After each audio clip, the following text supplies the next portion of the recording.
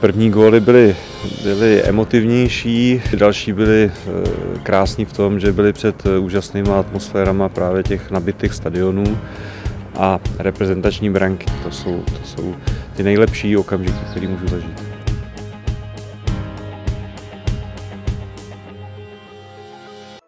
Zlom byl asi na vojně, když eh, jsem seděl vlastně eh, na tom výběru a, a najednou se ozval Rudá hvězda Cheb a moje jméno, tak jednak jsem tomu moc nevěřil teda a, a byl jsem z toho velice překvapený. První ligový gol jsem střelil za Rudou hvězdu Cheb na vojně v prvním eh, roce a toho té vojny a prakticky bylo to proti Olomouci asi samozřejmě nejde zapomenout na hetrik na Spartě. Tam každý ten gól měl obrovské emoce a, a když potom střelíte i ten třetí, tak to samozřejmě i pro pocit toho, toho útočníka, toho hráče a samozřejmě tu důležitost toho utkání, jako jaký, jaký derby je, tak,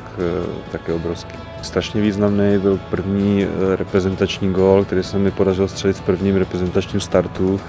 eh, ve Finsku a, a to samozřejmě byl obrovský úspěch, jako můj individuální a potom samozřejmě to nastartovalo i takovou tu,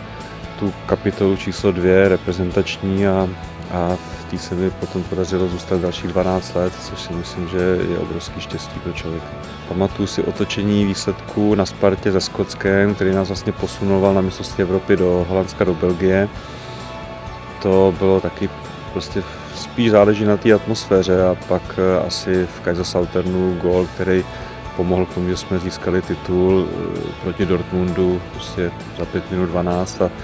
a při té atmosféře toho 50 tisícového kotle to byly obrovské emoce. A vlastně teď připravuji utkání Česká republika Německo nad 35 let, eh, první mezistátní utkání našeho týmu, tady právě v Edenu